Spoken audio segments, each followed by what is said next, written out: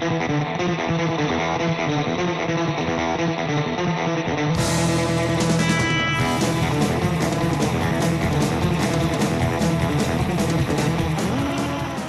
el municipio Cumare de la Costa es un municipio montañoso que comparte una vegetación de montaña con eh, una flora y una fauna también correspondiente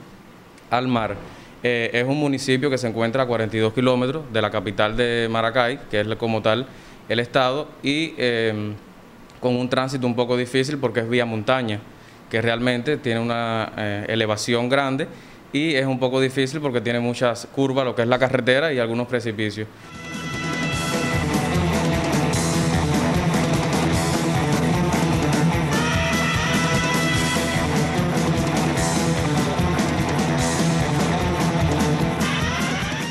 En el municipio tenemos una alta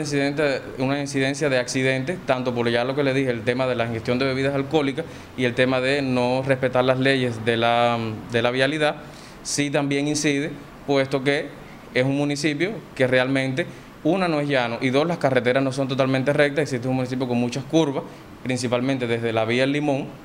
cuando vamos a subir al Parque Henry Pittier,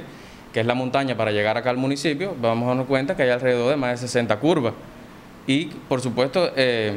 con unos bordes que son el precipicio, pero al llegar al municipio también, aunque es llano, continuamos con las calles que presentan curvas y por, y por supuesto la velocidad que andan los carros acá en el municipio no es la correcta, por lo tanto hay una alta incidencia de accidentes y de personas que fallecen eh, a consecuencia de estos accidentes.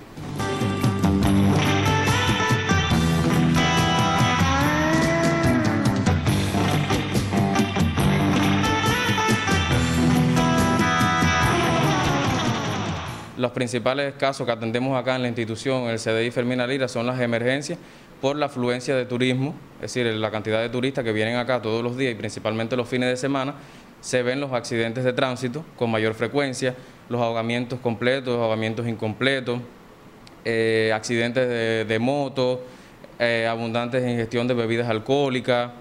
Realmente eh, se ve un poco más todo esto en las personas que afluyen acá, ya les digo, en tiempo de de verano, en tiempo de vacaciones, pues en tiempo de, de turismo.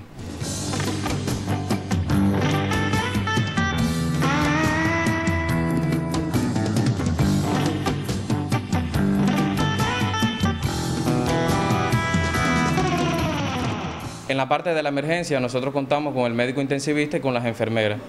Realmente todos capacitados para atender una emergencia y eh, mensualmente